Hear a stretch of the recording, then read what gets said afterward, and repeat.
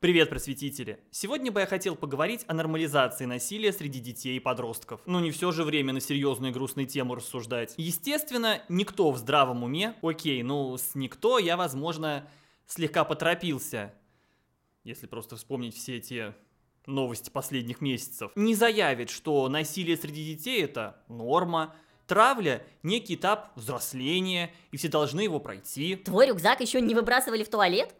Да что ты вообще о жизни знаешь? Понятно, что все преподносится не так в лоб, особенно если мы говорим о каких-то общественных деятелях. Им ведь надо за языком следить.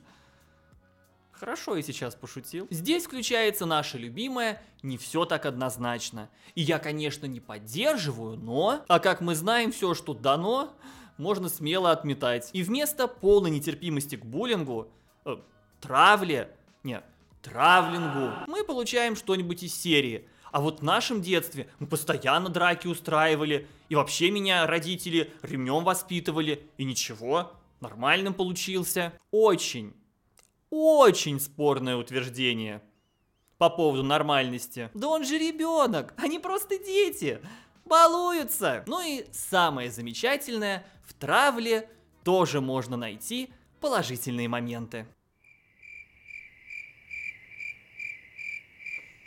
Заставка.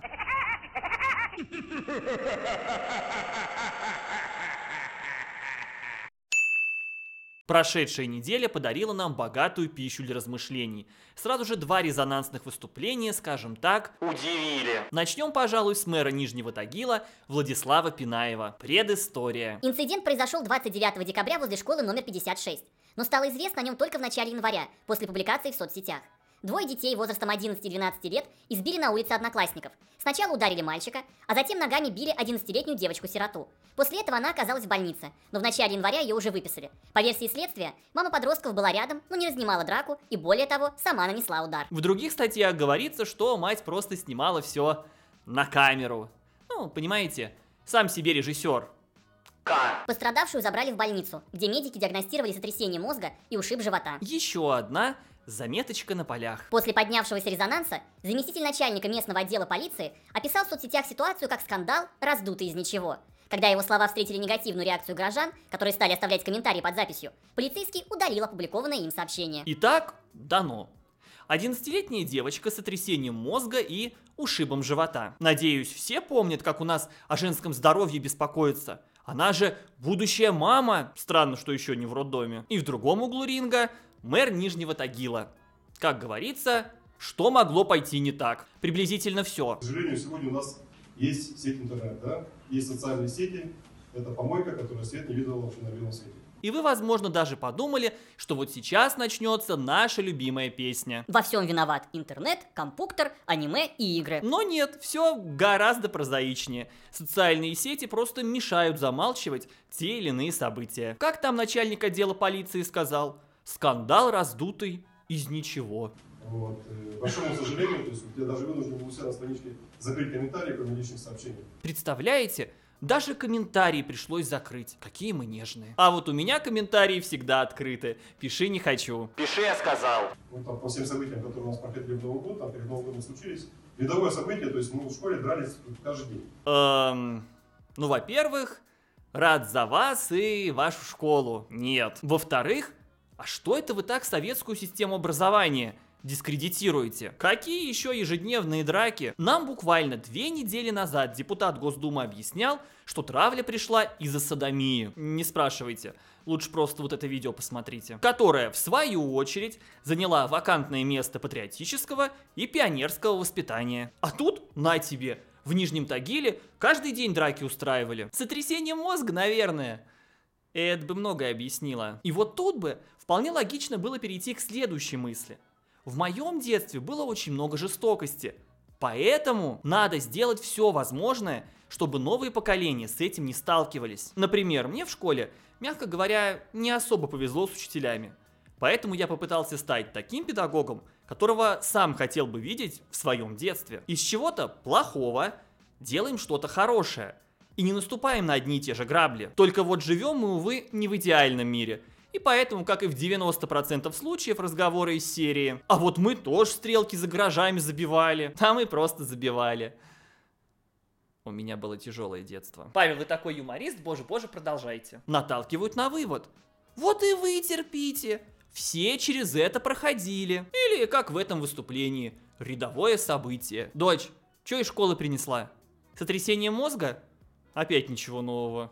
Вот каждый день кому-то что-то с фингалом, приходили домой, там, отец еще подзатыльников надает за то, что с фингалом пришел. Из серии просто загибаем пальчики. Собираем бинго. Вот. Это вообще это банальная радиация. Как ее раскрутили? Это, конечно, похвально, что вы про избиение детей и сотрясение мозга можете с улыбкой рассуждать. Всем бы вашу выдержку. Но, на мой взгляд, ничего банального в этой ситуации нет. И если она не вызывает как минимум удивление у человека, это очень многое говорит о состоянии общества. И в данной ситуации я вполне могу понять комментаторов, которые задали вполне логичный вопрос. А если бы это была ваша дочь? Да даже если и не говорить, а вот если бы твой ребенок, Вся наша ментальная гимнастика и перебывание в воздухе здесь и проявляется. Если бы два здоровых лба избили мэра Нижнего Тагила, это вряд ли можно было бы назвать рядовым случаем. И не только потому, что пострадавший мэр. Здесь просто произошло преступление. Все коротко и ясно. Но нормализация насилия так и выглядит. Когда в такой же ситуации, но с детьми, ничего особенного. Просто раздули. Только вот сотрясение мозга и там, и там. Вопрос национального вопроса. Да? Вот тут совсем он не имел места никакого быть. И вообще просто был детский конфликт и не более того. Отлично. Национального конфликта там не было. Здорово. Но мы все еще имеем ребенка, попавшего в больницу. Детские конфликты не более того, это когда Сережа назвал Машу дурой, потому что та не может на карте Казахстан показать. А, это Российское Министерство просвещения. В данном же случае это преступление. Вот сказать. Вот раскрутили так, кто раскрутил? Я, например, 290 комментариев с украинских аккаунтов. Вот просто вот, вот сейчас любая позитивная новость, более тысячи колл-центров работает сегодня в недружественных странах. Это основной Украины и. Кто бы сомневался, нашли крайних. А у меня в Телеграме под постом о вашей замечательной речи почти 900 комментариев. Тоже, наверное, сплошные украинцы. Накрутили. Кстати, у меня в Телеге еще и голосование есть.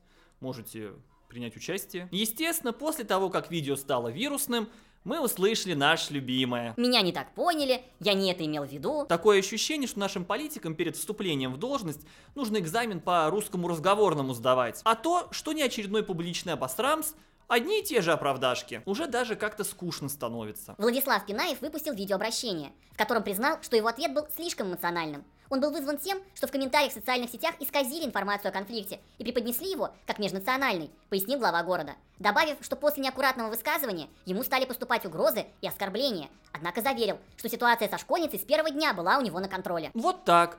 Рядовая вроде бы ситуация, а с первого дня на контроле. Чудеса да и только. Система образования в Нижнем Тагиле одна из лучших. Мы создаем все условия, чтобы дети могли расти, учиться и осваивать новое. Например, сотрясение мозга. Что? Это новое. Ну вот, честно говоря, после вашего выступления совершенно другая картина в голове сложилась. Но тут, понятное дело, опять во всем соцсети виноваты. Сами понимаете, просто же ребята, просто же в больничку, просто же отправили. Чё бухтеть-то? Никакого национального конфликта. Как представитель тех самых соцсетей, торжественно вручаю кринжульку недели Владиславу Пинаеву.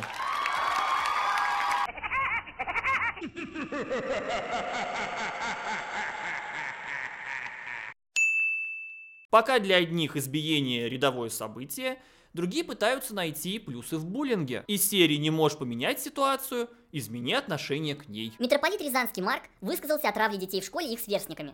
Архиерей ответил на вопрос родительницы, как бороться с буллингом в школе и стоит ли переводить ребенка, попавшего в такую ситуацию, на домашнее обучение. Прежде всего, нужно научить ребенка состоянию бесстрастия, чтобы он не реагировал на какие-то вещи, которые его оскорбляют, не пытался отвечать на провокации, считает священнослужитель. В стране, в которой существует такое понятие, как оскорбление чувств верующих, совет митрополита звучит, ну, как минимум, странно. То есть вот, когда взрослый человек слышит что-то, что даже не конкретно его касается, а просто его религии, можно смело писать заяву.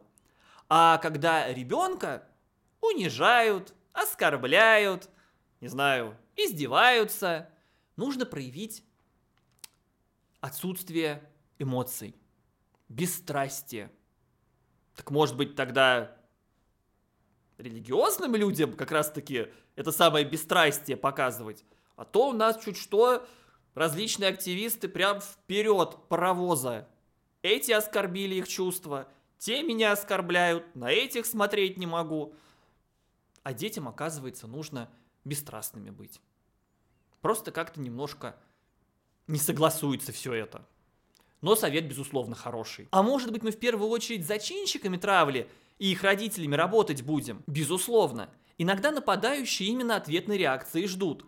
Но для многих молчание со стороны жертвы, простите, бесстрастие, это настоящий карт-бланш на продолжение измывательств.